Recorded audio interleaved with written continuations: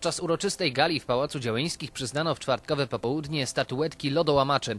Organizator konkursu Fundacja Aktywizacji Zawodowej Osób Niepełnosprawnych już po raz szósty nagrodziła pracodawców wrażliwych społecznie. Założycielem fundacji jest Polska Organizacja Pracodawców Osób Niepełnosprawnych.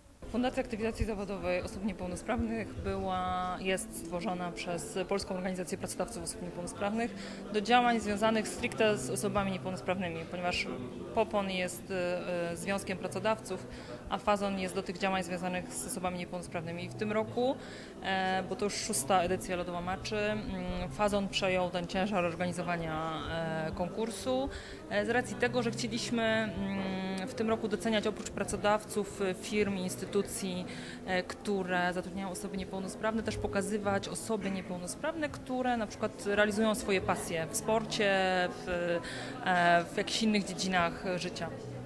E, I przez to Fazon pojawił się w, w konkursie. Trzecie miejsce i brązowy medal w kategorii zakład pracy chronionej otrzymuje przedsiębiorstwo produkcyjno-usługowe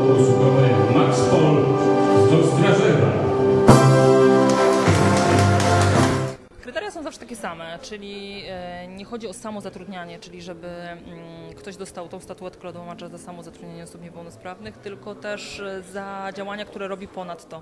Czyli są pracodawcy, którzy wydają tomiki wierszy swoich osób e, niepełnosprawnych, których mają w firmie, które powołują fundacje dotyczące edukacji, fundacje dotyczące sportu, więc mm, te wszystkie kryteria są zawsze brane pod uwagę. Tak, tak, dokładnie tak.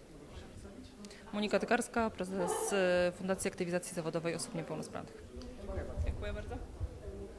Statuetki przyznano w trzech kategoriach: zakład pracy chronionej, otwarty rynek oraz pracodawca, nie przedsiębiorca.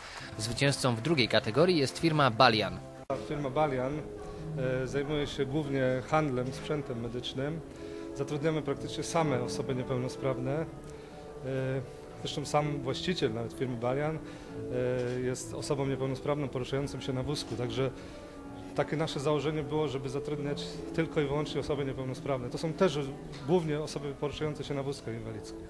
Rozdano także dwie nagrody specjalne: Super Lodołamacza i Lodołamacza Specjalnego.